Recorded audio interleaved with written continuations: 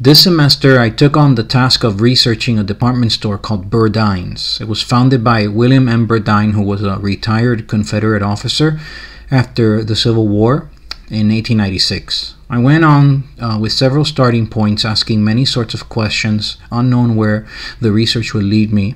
Eventually, I realized that this company was part and grew right along the city of Miami. Therefore, one of the research questions that came into focus was how this one company affected the lives of its customers and its employees. I discovered that Burdines was a great place to work, and William and his family were revolutionary when it came to offering their employees benefits, compensation, and even discounts at their store. Another form of a primary source utilized for this research project was the oral history interview. I located individuals who shopped at Burdines going back as early as the 1980s, individuals who shopped there their whole lives, who saw the impact that the store, uh, that this store had in what was the community of Miami. Through research and interviewing, I discovered that Burdines always, in some way or another, uh, way was part of the lives of ordinary people. Those um, interviewed remember that uh, very fondly. During Christmas, uh, for example, that was the big deal for them. Uh, the company would collect money, the, the store would collect money for the poor, send gifts to children who often had none. Uh, I discovered that they cared about the community that became their home state. I mean, they were, after all, call, after all called the, the Florida store, the only store in Florida ever to be referred to that way. Uh, through my interviews, I discovered that they were intimately involved in charities and organizations to help sick individuals like those with cancer this project uh, for me held not only historical significance but uh, personal significance as well. You see, as a young boy growing up, uh, as children, we fondly remember the places that our parents took us. Those days are nostalgic. And when we realize as we grow up that uh, those places that we frequented no longer exist, well, that sort of becomes a, a big disappointment. Another question that I wanted to address was the general rise and fall of the department store which through research I learned about uh, several holding companies that bought out, sometimes forced into selling uh, the department store chains, which they cared little about.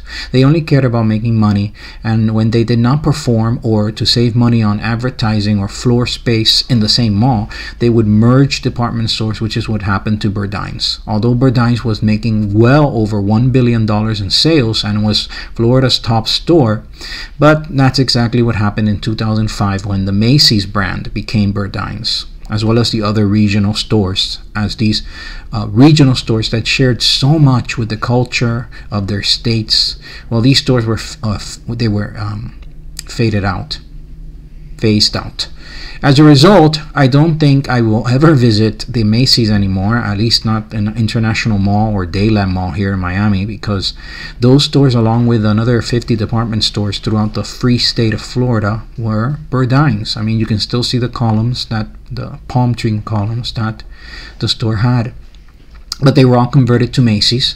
This project holds significance, uh, historical value for the history of Florida, in particular the history of Miami, because this store grew and matured with the tiny little uh, uh, fishing village that um, was Miami, and it became. Um, as it later then became throughout the 20th century a huge metropolis.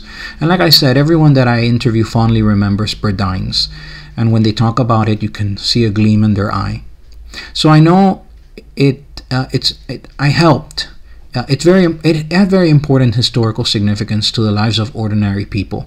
Me as a small boy, my father would take me to the mall. I would ride the carousel with, and uh, all while my grandmother would shop at Burdines. We Cubans here called it Burdines, and that's and you know all the Cubans here in Florida after they started to arrive as political refugees from the Castro communist dictatorship in Cuba, um, we were amazed at the variety and the amount of goods that Burdines sold.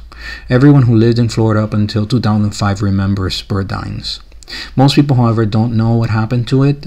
That's something that I too realized with my research.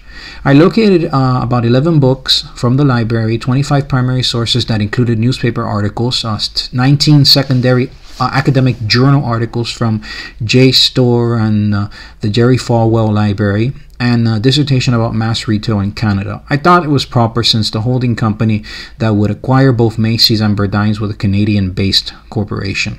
It was from Canada. How could a Canadian company making all the decisions about the future of Burdines know anything about Burdines? Well, they didn't. They didn't know the cultural, the historical, the community that Burdines inhabited, and how they were part of that community. I had to read as part of my research methodology as much as I possibly could, put the pieces together, interview people, and a picture of that department store slowly emerged. I came to the conclusion that it was, in fact, a special place to shop. And so, my summation to conclude.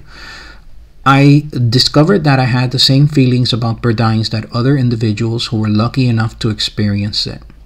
Burdines is gone, and Macy's says that is where the magic is, right? The magic of Macy's. But to people in Florida, although the memory of Burdines is fading, this research project will help preserve that memory, as a historian's job will always be. This research paper will go down in the historical record that was once a great department store. Thank you.